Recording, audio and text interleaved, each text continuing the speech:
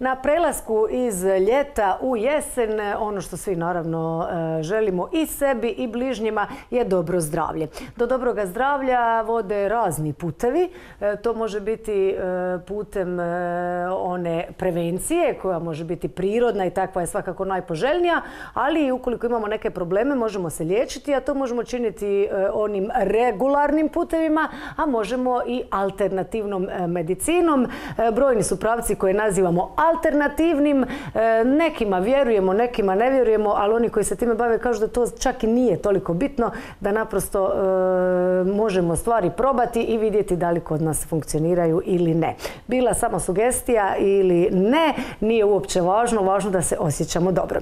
E, moji večerašnji gosti, možete pretpostaviti već iz same najave, su ljudi koji se bave zdravljem. To je terapeut energetske medicine Zdenko Jonjić koji osim toga i radi estezis. Ja sam dobro rekla Zdenko? Točno, upravo ste. Dobro večer i dobro mi došli. I e, fitoaromaterapeutkinja Dijana Lalatović. Ovo nije lako izgovoriti. Dijana, dobro večer, dobro mi došli. Hvala.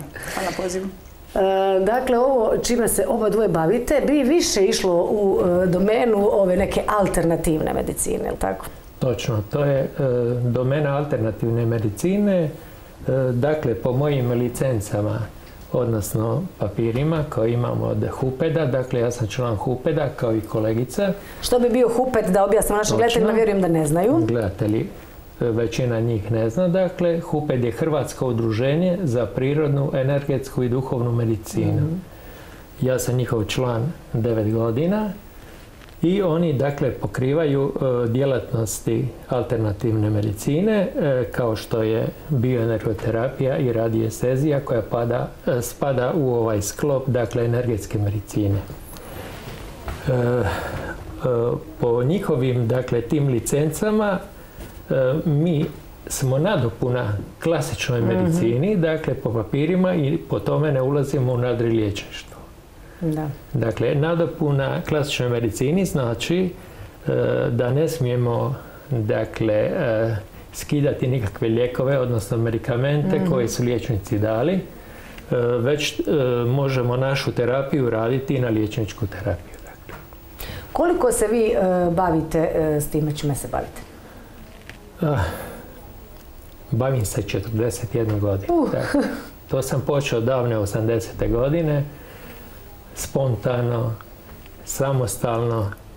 E, bila je u Rusiji e, Džuna Davitašvili, to je bilo u nekim medijima, u novinama davnih godina i tako bila je jedna šala u kancelariji mojoj, dakle uredu gdje sam radio. Kako bi bilo sada mene prođe glava, kaže da mi je Džuna tu, jedna kolegica rekla. Ja sam rekao, dobro, napola u šali, ja ću ti to pomoći, ne. I ona se digla na noge, ja kažem evo stani tu lijepo. I to mi se nikad nije dogodilo poslije, samo taj put da je e, žena jednostavno poletila naprijed, nije mogla stati na nogama kad se ispružio ruke prema njoj. I onda sam sjeo na stolicu i jednostavno vas to vodi. Kad imate želju da nekome pomognete, e, kao da vam energiju, pa onda izvlačim tu bol, jednostavno se dogodila promjena. Onda je došao drugi, ajde meni, treći, ovo ono i tako je to krenulo. I onda ste, pretpostavljam, počeli poprilično puno proučavati. E, točno, točno. Isticati znanje. Tako je, proučavao sam, međutim, najviše sam učio osobno na iskustvima svojim. Dakle, išao sam kod ljudi, 30 godina sam ja to radio, obilazeći ljude po kućama. U staroj bolnici sam radio i surađivao, bio je doktor pokojni E, primarius e, veliki gospodin Stjepo Bogdanović i doktor Ilko Šoša. Radili smo e, jedan tumor i jednu gangrenu. Ova gangrena je bila uspješna, tumor smo održavali tri mjeseca, žena je trebala dakle po njihovim spoznajama za jedno tri dana umrijeti. Živjela je tri mjeseca i tako. Veliko iskustvo, dakle nekad ne možete dok je pomoć, ali velika je stvar ljudima dakle pružiti pažnju i da im olakšate njihove tegobe. Je li vi osjećate energiju drugih ljudi kad uđete u prostoriju, kad se primaknete osobi, na koliko se blizu trebate primaknuti da bi osjetili energiju osobe? To definitivno i vi osjećate. Dakle, kad vam uđe u prostoriju mm. jedna osoba, osjećate da vam nešto ne odgovara, nije vam legla na prvu. Dakle, to svaki čovjek ima u sebi. Samo je pitanje koliko će se isprofilirati, da li će željeti ući e, da radi ovakve promjene u koje sam ja ušao i moram priznati da to nije bezopasno područje. Nije bezopasno područje zato što e, svoju energiju izmjenjujete sa dosta ljudi. Mhm. Morate naći načina kako da sebe dakle dovedete u neku ravnotežu, odnosno balans. Mhm. Kad se e, priči priključila Ja mi malo pojasniti našim gledateljima i što je to konkretno. Znam da se za nju vezuje najčešće visak. Tako je, dakle, e, ima više uređaja koji se uključuju u radijesteziju. E, s njom sam se upoznao otprilike u isto vrijeme e, kao sa bioenergijom. Čitao sam knjige od gospodina Osmana Hasanpašića kojega sam i upoznao u Zagrebu puno godina kasnije, koji mi je poželio puno uspjeha u radu kad sam otvarao svoju ordinaciju. E, to je područje doista e, putem kojega e, vaše tijelo osjeća elektromagnetska zračenja ili podzemna vodena zračenja, zavisi šta gledamo. I dakle, onda visak reagira na to. Zbog čega je to potrebno? To je potrebno zbog toga što mnogi ljudi spavaju na mjestima e, koja mu uzrkuju e, velike smetnje, zbog toga dolazi do teških bolesti. Mhm. E, to sam nebrojeno puta provjerio i dokazao. Čak doktor Edigio Čepulić, on je bio primarius u klinici za tumore u Zagrebu, to i kolegica je upoznata s tim slučajem. Dakle, E, on je poslao ovlaštenog radijestezista da ide kod e, e, njihovih pacijenata koji su obolili od tumora da provjere na kakvim mjestima spavaju. I on je rekao, moje osobno mišljenje je, ja nemam nikakvih dilema da teške bolesti nastaju upravo zbog štetnih zračenja. Ali rekao je, to je moje osobno mišljenje. Dakle, teorija još uvijek nedokazana. E, Dijana, e, ti se... Dokazana, kažete, je li? Točno, dokazana je. Dakle, e, također uz podzemna vodena zračenja postoje Hartmanove linije i Karijeve linije. To su, mhm. dakle, pronašli liječnici njemački.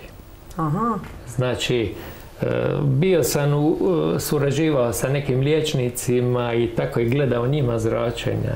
Čak sam radio neke jedno desetak, 15 dana prije smrti eh, koji su odbijali ove stvari. Ipak sam ih radio, njima sam olakšao, nisam mogao pomoći. Dakle, čak sam dolazio u bolnicu. Ne možete legalno dolaziti ovo mhm. raditi u bolnicu, nažalost, kao što se to radi u Europi. Dakle, bio sam na desetog kongresu u Zagrebu eh, o suradnji alternativne i klasične medicine gdje su ljudi dakle e, iz Engleske govorili da u Londonu postoji e, u sustavu medicinskom, znači klasične medicine, postoje u kompjutoru alternativci koji je klasična medicina koristi, dakle, po mhm. potrebi za pacijenta. I to je to, dakle. Dijana, ti si meni već bila do dušu u jednoj drugoj e, emisiji gdje smo pričali o e, fitoaromaterapiji, ali ti osim toga si isto se priključila e, ovoj priči sa radijestezijom, jel tako? I ti radiš sa viskom. tako je, ja sam između znači, ja nisam član HUPED, ali sam preko HUPED-a došla do, znači, do licence od radiostezije, imam visoki potencijal, ja nisam toliko, nemam toliki dugi staž kao kolega, ali jednako mhm. se bavim i evo zanimljivo je da isto u stanovima u kojim živim imamo više lokacija, E, su ogromna zračenja. u, u kući gdje sam rođena, baš u, u Konavlima, je zanimljivo da je otac izgradio kuću na vrtačištu, znači na vrtlogu gdje je završao iz podzemnih voda i skoro kompletna kuća je ozračena. Mhm. Tako da je od otac jako volio pokojna majka, tako da je zaista to povezano jedno s drugim i ne može se izvjeći. A meni je ovo, kako je moja, moja mentorica inače Zagreba, oni su započeli istraživanja, znači vezano za za oboljenje od raka. A, meni je bilo zanimljivo istražiti područja na kojima majke su spavale za vrijeme dok su bile trudne. Znači, e, mhm. jako puno je spontanih pobačaja i poroda koji završavaju ono, sa neželjeno ili djeca koja se rađaju sa anomalijama. I dakle, To bi se moglo izbjeći, znači da, da je mhm. pravovremeno izmjeriti prostor, moglo bi se znači dislocirati krevet ili staviti neke zaštite. Da. Dakle, ne moramo nužno, ukoliko se tako nešto utvrdi, prodat stan. Ljudi se obično pitaju što će mi uopće to doći gledat ako jesam na vodama, što ću činiti. Pa to sam naslijedio, tu je recimo nemoguće izbjeći. Ja u jednom stanu sam provjerila, znači uz prozor je nekakva širina od 20 cm i to nije sporno. Ali recimo u ovoj kući gdje sam, evo, gdje mi otac spavao je kompletan krevet. Znači to je promjer od nekakva 3 metra je kompletno ozračen. Znači mhm. sad kad je bio obolio, napali smo mu dole garsonjeru potpuno. Znači visak se vrti na kompletnih 20 vrata i tu malo što se može napraviti. Tu se ništa ne može napraviti. Mislim, ja bih savjetovala svakom koji ide kupiti stan ili graditi, mislim, to je bila i obaveza prije, mhm. da bi se to područje trebalo provjeriti. Provjeriti. Zdenko, Samo bi se sekund priključio, onaj, ja se mhm. pričavam kolegice. Onaj, e, na građevinskom fakultetu, to jako malo ljudi zna, se uči o e, zemaljskim geopatogenim zračenjima. Dakle, studenti to uče. Da. Međutim, jako malo se koristi. Pogledajte šta se radi, evo, također oko ove vaše zgrade. Dakle, ljudi kupe komad zemlje i dignu, dakle, e, velike objekte gdje jako puno ljudi živi na neprovjerenim mjestima. Mhm. E, u Francuskoj ne možete graditi objekat ukoliko radi stezis nije pregledao teren i nemate odobrenja radi stezisa. Točno. Dakle, nus prostorije mogu biti E, na štetnim zračima, to kao kuhinja, WC i tako dalje. Međutim, e, prostorije e, kao što su spavače sobe mhm. bi trebale dakle, da budu na free zonama, dakle, slobodnim mjestima. Vi ste nam još donijeli jedan uređaj Tako je. i sad ćemo mi ovdje demonstrirati kako to izgleda kad radi, radiesteziolog dođe u prostor i provjeri da li je prostor u redu. Dakle, to može sa viskom, a i može i s ovim aparatom. Ovo su aparati, dakle, od Hupeda, aparat se zove Genius, dakle, uh ovaj, za mjerenje prostora. Dakle, genijalac. Tako je, genijalac. Međutim, već je genijalac visak i on je puno točniji i precizniji od toga aparata. Međutim, kad vi dođete ljudima gledati doma prostor, problem je u tome što visak se samo okreće i to njima ništa ne znači, apsolutno. Okreće se, vi kažete, postoji tu zračenje, međutim, kad dođe Genius, on to radi na drugačiji način, pa ćete moći, dakle, sad vidjeti. Evo, recimo, s viskom ćemo tražiti pozemnu vodu sad. Mhm. Evo, to idemo, dakle, e, krećem e, kod mene neutral kad ide lijevo desno, takav je moj dogovor. Ja, kolegice, u vas je malo drugačije. ja imam drugi dogovor, recimo, kod mene se okreće. Kod se okreće. Kad dođete do onaj e, podzemne vode, dakle počne se ja moram I onda gledate u kojem smjeru ide voda, dakle ide iz desne strane prema lijevoj. I to pokažete ljudima, ljudi uopće ne reagiraju na to. Međutim, kad dođete sa Geniusom, dakle, šta se dogodi? Evo. On se dakle aktivira.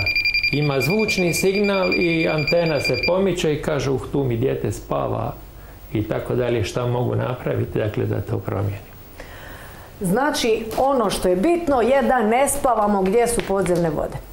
Točno tako, ne samo podzemne vode. Mm dakle, podzemne vode su jedan iz spektra e, toga, dakle, e, negativnog geopatogenog zračenja, dakle, e, postaje Hartmanovi čvorovi i Karijevi čvorovi. Mm Oprosti, da, da pojasnim, znači to su, to su mreže iz svemira kozmičke. Može najbolje objasniti, znači kao one armaturna mreža kako izgleda. Mhm.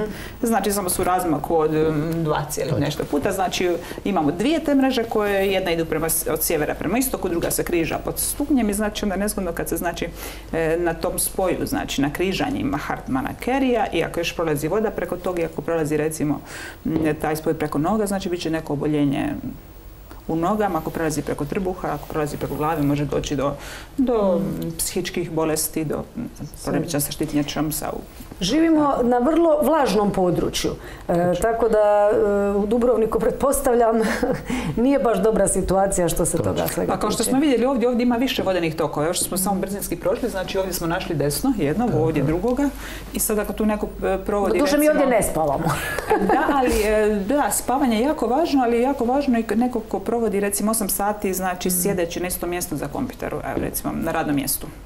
I nije dobro su dva mjesta da je poviše tog područja koje, koje zrači. Dakle, e, tako je. Dubrovačko područje. Ja sam dakle mjerio po Hrvatskoj mm.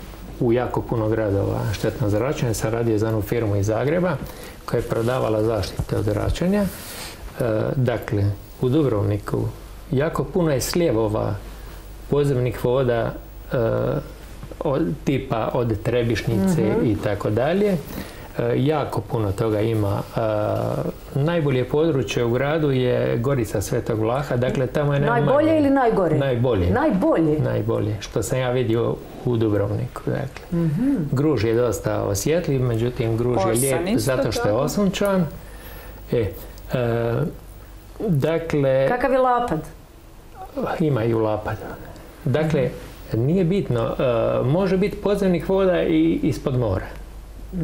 I to također zrači. Vi možete, u Zagrebu sam bio, e, bilo je 11 katova, na 11, na 11. katu vam je isto kao i na prvom katu. mm Ista stvar. Tako je. I još su trafostanice stavili i to su zračenja, dakle e, e, ta onaj tipa strujnih zračenja.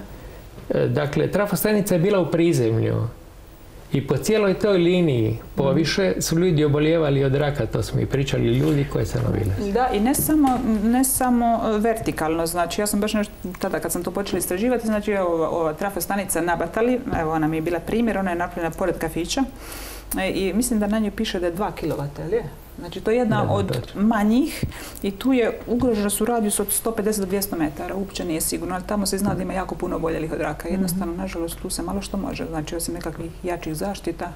Da.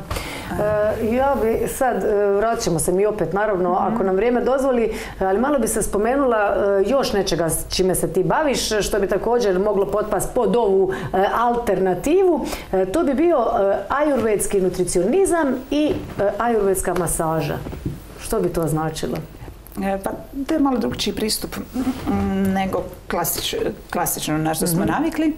A, evo da se sad dotaknem ajurvedske masaže, znači to je nešto kompletno novo na što nismo navikli ovdje. E, ne znam da li ste to ikad vidjela, znači imaju drveni stolovi na kojem ti ležiš i sad ti ovdje ti kad kapati ulje na, na čelu i to traje neki 40 minuta. To je onako izuzetno e, opuštajuće što djeluje ono na duh i na tijelo. Mhm. I razne masaže koje se rade sa biljem. Znači u u neku vrstu tkanine prirodne se znači stavi se kombinacija bilja mhm.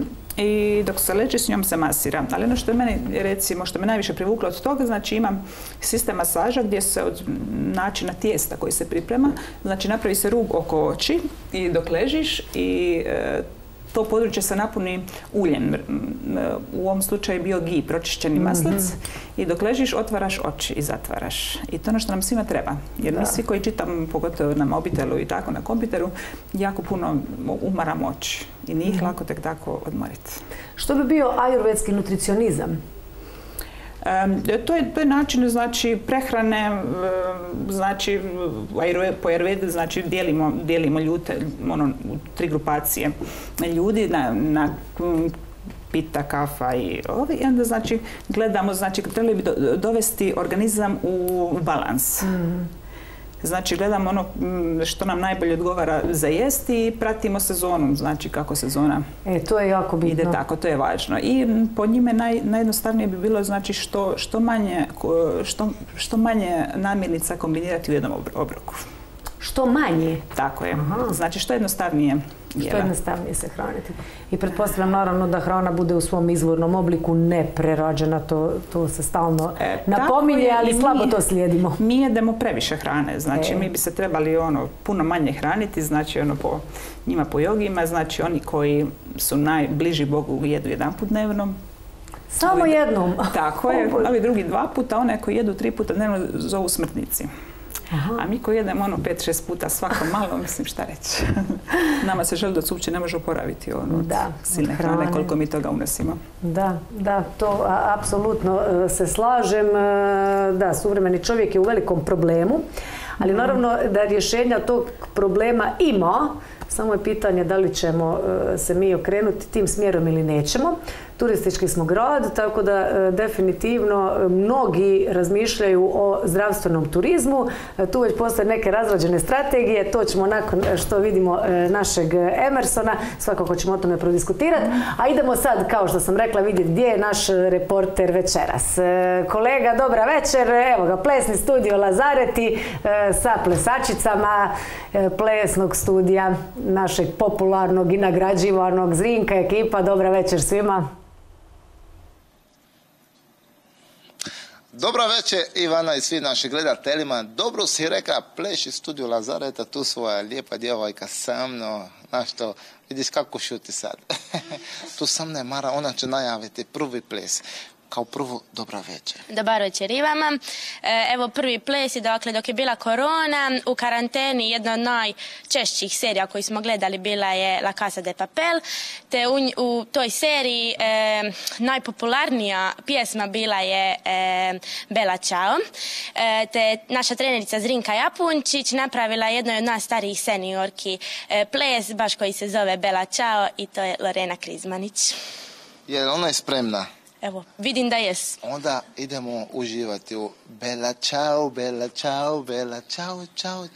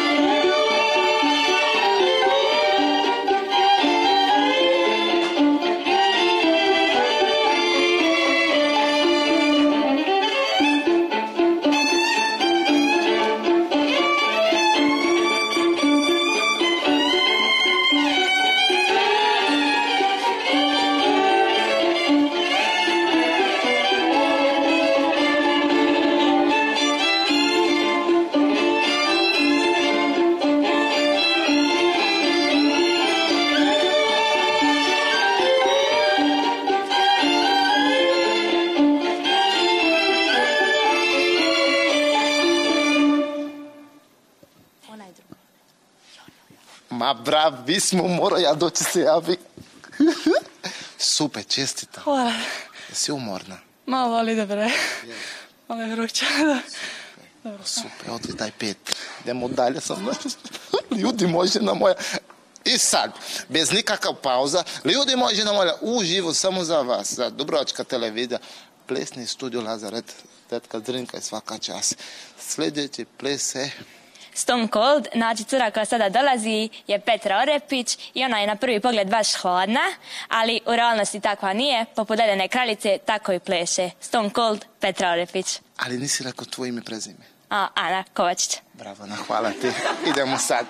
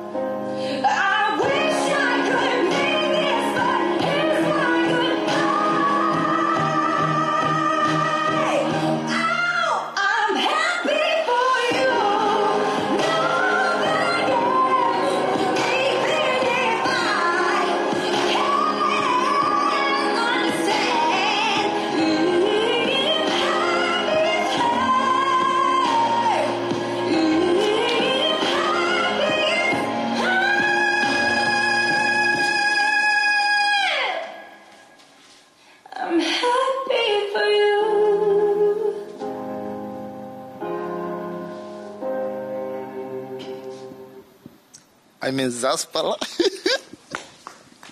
pa bravo, super. Okreni ovako da te vidimo. Kako si? Odlično. Može ponoviti tvoje ime, zaboravi. Petra Arapić. Petra, čestitam, predivna si. Hvala. A, jesi umorena? Malo. Malo. Super. Odlično, hvala. Idemo dalje, pošto uživo smo. Ljudi moji, žena moja, nije to i sve. Kako ona rečenica na hrvatska? Šećera za kraj, jel tako? I sad, samo za vas, uživo na Dubrovačka televizija, plesni studio Lazaret, treće po redu nastup je Dobar večer svima, ja sam Jelena Tutman i e, sad će nam plesat e, jedna osoba koja je poseban slučaj u ovom studiju. E, njena koreografija je skroz pomaknuta i zove se Crazy isto kao što je i ona i to je Nina Glumac i ne pokušavajte ovo doma. Eto, čuli ste, amo vidite.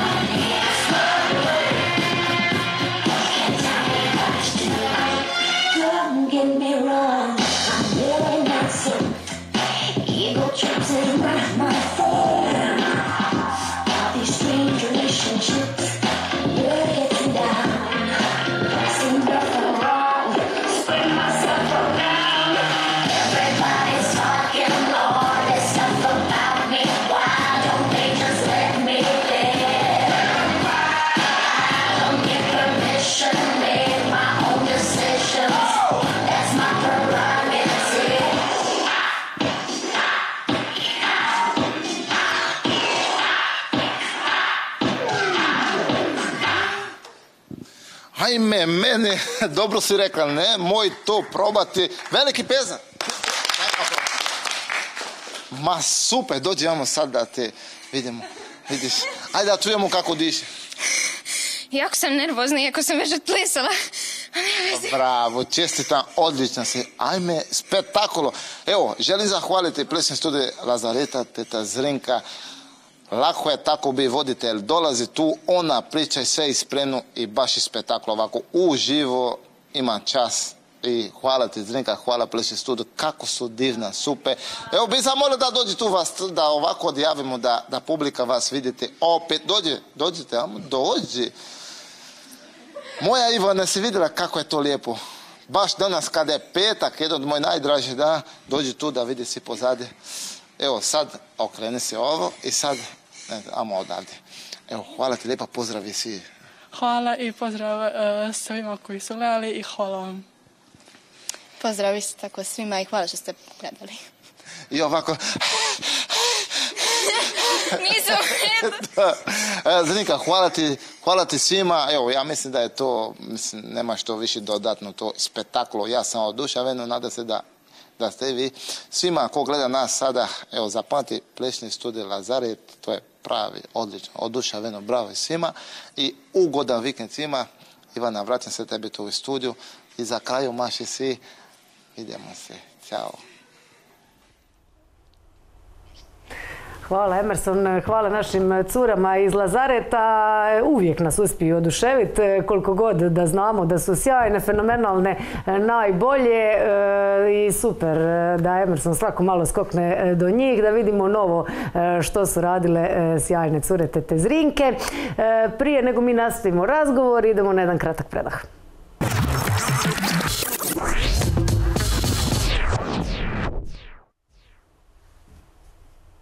Večeras smo na temi alternativne medicine, liječenja, prevencije. E, Dijana e, i e, Zdenko su sa mnom. Rekli smo prije Emersonovog javljanja, prije reklama da ćemo se spomenuti jedne vrlo, vrlo bitne teme. Ona se tiče i zdravlja i našeg turizma, povezuje ih u jednu cjelinu, a to bi bio zdravstveni turizam koji bi mogao omogućiti onda da živimo od te naše najplodonosnije, zapravo jedine grane cijele godine. Dijana. Pa ovakva ideja je mm, e, ta da smo se, evo, ja kolega, ima nas još, mm, recimo za sad u startu desetak, znači koji se bavimo razno raznim alternativnim vidom liječenja. I znači ono što bi mi mogli ponuditi i u stvari idemo na to da nudimo turistima, znači već smo pregovarali sa par hotelskih kuća i imamo evo, pozitivno znači odobrenje da možemo to raditi. Znači, išli bi na e, zdravstveni turizam e, povezan sa aktivnim turizmom, znači što je sad hit u svijetu. Znači, ljudi kad dođu u Dubrovnik, oni ne znaju šta bi od sebe vidjeli, vide zidine i to je to. Znači, plan je da radimo nekakve manje grupe u startu, možda neki 20 ljudi, pa onda kasnije 50-100 i da oni imaju plan kad dođu. Znači da mogu izabrat, e, naravno tu bi bila i klasična medicina na kojoj bi se recimo dosta je popularno već u Hrvatskoj dentalna medicina gdje bi ljudi došli i ostanu 15-20 dana u Dubrovniku i mogli bi recimo srediti zube sad u riješiti neki problem. Tako je, riješiti A što neki. se tiče e, tog zdravstvenog pristupa, zdravstvenog turizma, što bi sve e, tu bilo objedinjeno? Pretpostavljam, e, naravno, evo što je sve popularnije kod nas, i joga, i masaže, različiti Tako ono što bi mi tipovi, nudili, aromaterapija. Znači, e, tako nudili bi aromaterapiju, znači ajurvedsku masažu, e, kolega radi znači energetske e, tretmane, šijacu. Znači, Što je šijacu? E, kolegica, to je isto tehnika izlječenja, znači Aha, koja, se, koja se oslanja na kinesku na na kinesku medicinu. metodu. Tako je, medicinu. I znači to bi onda povezali, znači mi bi ljude doveli i oni bi imali izbora. Znači od programa ujutro kad se dignu, znači da imaju, ne znam, tjelovježbu na bazenu, iza toga mogu birati da li hoće jogu i radit ćemo izlete. Znači izleti bi bili, evo recimo, mm, izlet u Primorje, e, kod našeg isto kolege, u posjet destileriji. Evo, to je Znači mogu sudjelovati u branju, branju, branju lovorike, znači biti prisutni dok se destilira lovor i tu isto recimo bočicu lovora donijeti sa sobom. Ili recimo isto tako sa nekim OPG-om dogovoriti branje maslina, onda da prisustvuju recimo u nekim starim mlinicama koje su stare po 250 godina da vide tradicionalni način kako se nekad e, pravilo hladno prešano ulje gdje mogu to i kupiti. Pa recimo ture isto tako mo- može ih se odvesti ston da vide našu solanu, pa recimo Da obiđu zidine, pa vinska cesta. Da. U svakom slučaju... e, Znači mi- kombinacija, znači zdravlja i aktivnog turizma. Zdravlja i aktivnog turizma. To je ono, e, Zdenko, što modernom čovjeku sve više treba, je li tako? Točno, I vaš taj visak, koliko može ustanoviti ove fizičke poteškoće, pretpostavljam da može i ove psihičke.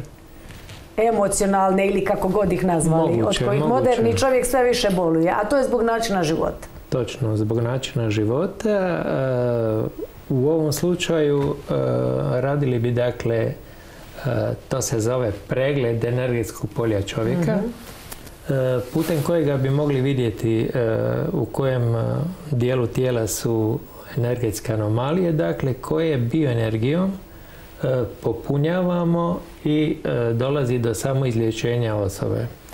E, To sam vidio e, prije nekoliko dana sam bio u Staroj gradskoj luci e, e, na poslu, dakle, i e, došle su tri Amerikanke.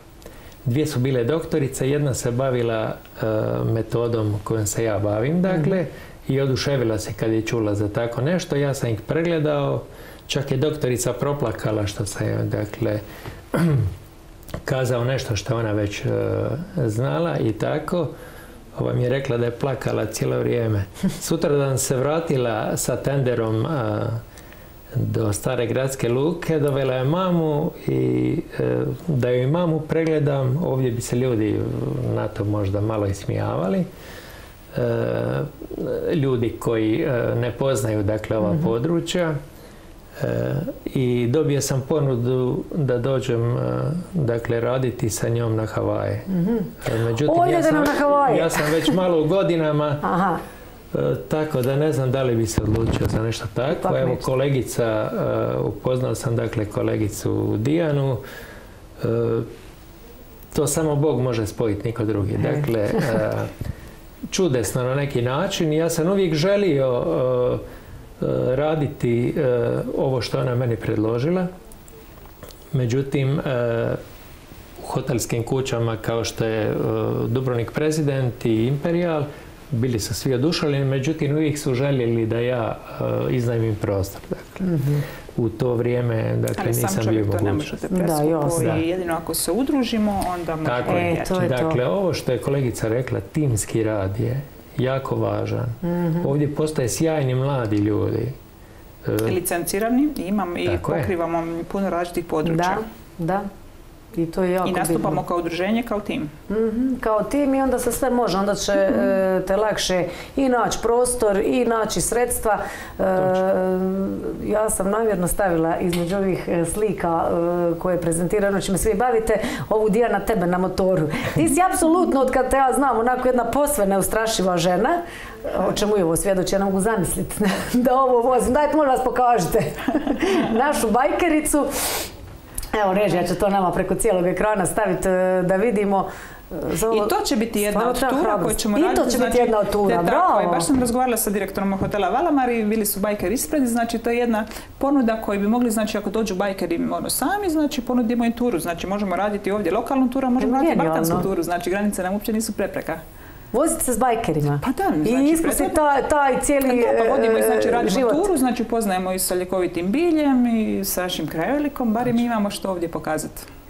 Slušaj, ja nisam strankinja, a apsolutno bi se mogla zamisliti na toj e, turi, jer to bi meni bilo nešto potpuno novo. E, ono, evo te, i riba, i riba, žena, sve radi. Ovo, nisam ti rekla da ću staviti, ali morala sam naprosto. Ovo je Luc, jel tako? Da. Viš kako znam, riba mija, idem sutra, sutra, e, sutra uzoru idem, idem, idem ovaj, e, ribati, tome se jako, jako veselim. Mislim da e, definitivno ono što nas vraća u onaj balans o kojemu smo pričali je to vraćanje prirodi. E, i, zapravo zato mi se jako i sviđa e, to e, čemu vi težite, a to je objedinjavanje svih tih metoda. Jer niti jedna zasebno zapravo e, ne može postići da se balans zadrži. Jer ako ne živimo zdravo, ako ne živimo u skladu s prirodom, onda čak i ako trenutno postignemo balans, pa bilo to uz pomoć nekakvog lijeka, medikamenta ili uz pomoć bioenergije ili na koji god treći način, ne možemo to zadržati, jel tako? Točno, normalno. E, meni uvijek nedostajao još neko uz mene, dakle neki recimo nutricionista ili nešto da bi upotpunio dakle onu moju ponudu. I onda se dogodi Dijana. I, a, mislim, a, to je jedna osoba, jako puno sam ljudi prošao kroz ovaj moj Mhm. rad. To je bilo nekoliko tisuća ljudi kroz ovih 41 Da, vjerujem. godina. Ovo je jedna osoba sa nevjerojatnom energijom. To stvarno onaj, e, rijetko se vidi. E, slažem. Cijelu je sebe stavila u ovaj projekt. Mm.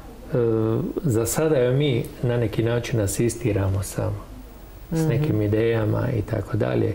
Ona je to sve pospojila u glavi e, i to ne može u biti e, biti promašaj nikako. Nema šanse. Dijana je se posramila kako te nahvalio. tako Ali je. da, dakle, e, to je, to je projekt e, koji ne samo da će vas, ajmo nazvat e, uvjetno rečeno, alternativce objediniti tu tu jednu priču, nego nešto što bi zaista i Dubrovniku kao gradu moglo donijeti i tekako dobroga u pogledu tog turističkog razvoja. Točno. Pa bi definitivno, ali evo, evo ja sam išla malo istraživati ono Dubrovnik kao zdravstveni kao zdravstvena destinacija, znači zdravstveni turizam, i nisam baš mogla puno naći. Vratimo se na, u 1905. godinu kad, su, kad je otvorena terapija, gdje je bilo liječilište, Zamisli, gdje? gdje je sad starački dom, zanimljivo. Termoterapija. Termoterapija gdje su U znači Mhm. sumporno-jodni izvori. I ja sam jutro, znači... Sam- prosti, moramo ponoviti još jednu godinu. 1905. 1905. Tako Nevjerojatno. znači ono postoji, znači u to vrijeme je napravljeno liječilište i postoji parobrod. Kako se sjećam da su vozili Mhm. ljude iz Gruža u Mokošicu, su dolazili na liječenje. Znači što kažu, uvijek nam Bog da na, nekom, na nekom mjestu, znači određeno nešto za liječenje koje nam treba. Mhm. I da bi to ljudi, a, ne znam, nije uništili ili zatrpali. Znači, prvo imamo starački dom na tom mjestu, evo ne znam šta bi rekla na to. Mislim, valjda biste ga trebala u budućnosti prebaciti negdje, a to mjesto vratiti u prvobitno stanje. Da. Znači, malo sam išla istraživati tamo da vidi, mene zanimalo ta likovita voda koja je izvirala, što je s njom? Znači, dođem tamo, niko ne želi. Prvo sam zvala na recepciju od, od um, staračkog doma, niko nema pojma niče. Pa su me preusmjerili ja na nekoga, pretpostavljam nekog voditelja, pitala sam njih, ja kažem, da li vi znate gdje su izvori? Ne, nemamo pojma, ali ako saznate, javite nam. Aha. baš zanimljivo. I onda dođemo do informacije, sad ne smijem baš otkrivati tko je, jer niko ne, ne voli da se priča previše o tome, ne znam iz kog razloga. Znači tamo postoji sad igralište koje je izgrađeno nedavno i zanimljivo je da je baš na tom mjestu, znači to su u vrijeme kad su jake kiše, kad napadaju, znači na tom mjestu su, je izlazilo, znači vidjeli su veliki balon, znači e, to mjesto se zove, kako se zove, S, Smrdečevo, jel je? Ne znam točno. Tako nešto zato što je smrad veliki, po sumporu. Po sumporu. Znaš gdje još ima izvor sumpora, sad ću ti ja otkriti. I tu tvrde da je ljekovita voda i tu su mnogi išli i umivat se i evo ja sam kao dijete išla. E, banja u Slanome. Slana. Aha, okej. Tu, Tako je. e, Da li izvor slane vode u biti? E, Mislim da da, ali to je kraj one crkvice na samom Tako, zapravo početku vale kad se dolazi No, od strane Dubrovnika, onaj dio koji se zove Banja. Crkvica je nuncijata, pa se zove pod nuncijatom i tu ima jedan mali onako kao volat i tu izvire ta voda koju, za koju tvrde da je, da je ljekovita, znam da ima sumpora dosta u sebi. Ali ovo novi par mjesta gdje su bili izvori, to, to je zatrpano, zatrpano je kamenjem, jer je tu dolazila voda, znači ovo iz, izgrađeno je igralište, mislim, to je nevjerojatno. Mhm. Znači, na temelju e, zdravstvenog turizma u Dubrovniku, evo ne znam, potpuno devastirano. Imate starački zom- dom koji se, zo- koji se zove termoterapija. Nevjerojatno. Ali zašto niko nije sjetio? Recimo ono što meni impresivno, ja sam bila nedavno na Velebitu i sad ima voda koja izvire sama od sebe, onda su ljudi sjetili kako da je skuper. Kad dođeš ti ovako na to će trebati jako puno vremena, Mhm. znači oni su nadgradili bunar.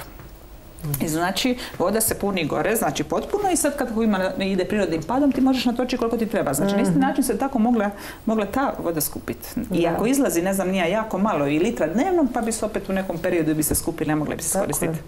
I koja je izvrsna za liječenje kožnih bolesti i koje je što drugo. Svašta je. Mislim, nekad je bilo liječenje znači, s tom termalnom vodom i sa blatom ljekovitim. I sa blatom. Zdenko, što vi kažete? Točno tako. E, Dakle, e, malo bi se nadovezao na ovo, pošto sam ja bio u sportu. e, Još davnih godina kad sam poznatu atletičarku Slobodanku Čolović radio prije olimpijade u Seulu, u Osijeku na, sa gospodinom Miljenkom Rakom sam surađivao, on je rekao za Dubrovnik. Zbog čega Dubrovnik nema jedan normalni stadion sa atletskom stazom? Ja bi iz cijelog svijeta sportaša dovodio tu. Dakle, e, onda bi i mi se mogli uključiti e, za rad e, zajedno sa sportašima, Da. im olakšamo njihove tegobe, probleme i tako dalje. Međutim, nažalost, ne možemo se dogovoriti nikako oko toga stadiona. Dvorana će biti, ali nogometni stadion ipak je nogomet, nogomet. Atletika, je. atletika, kraljica sportova. A jesmo mi imali i uvali liječilište za oboljele od plućnih bolesti? Jel ti znaš za to? Ne znam. Jel i ti znaš za to? Bila je zvijezda gore. ono. Da, dole postoji još uvijek kuća, ja ne znam da li je, da li je uopće renovirana i uopće ne znam ko je vlasnik, znači kad se spušta niz uvalu, znači s desne strane je onako derutna kuća koja je bila liječilište za Da. oboljele od pluća. Zamisli. I dobro, recite mi, e, vaš taj plan, kad planirate početi realizirati? Pa ako Bog da, čak i ove sezone. Ozbiljno. Tako, jer to planiramo raditi pod sezonu. U sezonu nemamo potrebe raditi, ali evo, ako uspijemo, znači, meni se radi platforma, znači, koja je onako malo i zahtjevna za napraviti, jer ovo sve što se sad može naći na internetu, znači, imaš book retreat i tu bukiraš um, ono, sedam dana na Korčuli sa jogom i to je to, ništa drugo se ne nudi, uzmi ili ostavi. Ali ovo radimo malo pametnije, tako da ljudi mogu izabrati, znači, da li žele samo doći tu, da li žele aktivni turizam, koliko dobro, znači, moramo saznati u kakvoj su kondiciji zdravstvenoj, Da. Znači koliko su, ako se žele recimo ići baviti planinarstvom, koliko su napredni. Ako žele evo, i da ih i da radimo i kajak ture, znači moramo znati da li su početnici ili, ili biciklističke ture koji bi radili po konavlima ili recimo da planiramo turu da se penju pješke na Srđ, pa obilazak e, muzeja, Mhm. pa recimo i kasnije s ove ture sa kvadovima i onda recimo se vrate nazad sa žičarom. Genijalno. Ali moramo znati koliko brzo se penju, znači da Tako ih je. znamo u koju grupu ih staviti. Tako je. To I možemo ići i o penjanju po petici tu koja je, mislim, imamo Mhm. opcija. Tako je. Da vidimo... Slavonija, Plitvice, to se da uh, pospojiti jako lijepo. Ja vjerujem da će zato biti jako, jako puno interesa. Kako se planirate e, reklamirati? Ma to će vjerojatno oni sami. Pa sami zakupljene su već do mene, to se radi, plati, plati se To je već odrađeno, znači? Da, to je već odrađeno, ima par mjeseci, danas je već počeo ovaj, naš kolega sređivati stranicu, znači dobije up- upute i to se radi. To se radi, Sa odlično. hotelima je dogovoreno, znači s hotelom imamo znači, dogovor, znači određeni broj, broj soba koji nam uopće nije problem, znači radimo sa hotelima visoke kategorizacije koji ima u sebi već wellness Odlično. zvjezdica. i onda ćemo saznati samo što ljude zanima, da li želi ono, da li je samo medicinski turizam, da li želi i aktivni, da li želi uključiti zipline ili ne znam, nije jahanje u konavlima, znači za sve smo otvoreni. Znači imat ćete više paket aranžmana i Tako, onda jedna će više oni ili od 7 dana, toga 15 ili odabrati. 20. Recimo ako nam budu dolazili Amerikanci, za njih oni vjerojatno njima se ne isplati dolaziti na kraće. E, Čak se tu razmišlja da se poveže, da dođu par dana na Hvar, dok, su- dok je Hvar otvoren, onda e, par dana u Makarsku, onda ih povučemo u Dubrovnik. Ovo je sjajno što sam čula. Ja vam želim svu sreću u realizaciji e, vaše Hvala. ideje za koju uopće ne sumnjam da će biti pun pogodak jer to je to što nam treba danas ljudima sa zapada koji puno rade, puno koriste sve te uređaje, malo su u doticaju s prirodom, sa zdravom hranom, biljkama, ne znamo ni mi sami prepoznat smilje na srđu, a kamoli što drugo. Tako da će to definitivno e, uspjeti na zadovoljstvo svih. Hvala vam što ste bili moji gosti. Hvala, na pozivu. Hvala i vama što ste bili sa mnom i mojim gostima i ovaj tjedan. Gledamo se u ponedjeljak. Ugodan ostatak dana i ugodan vikend vam želim.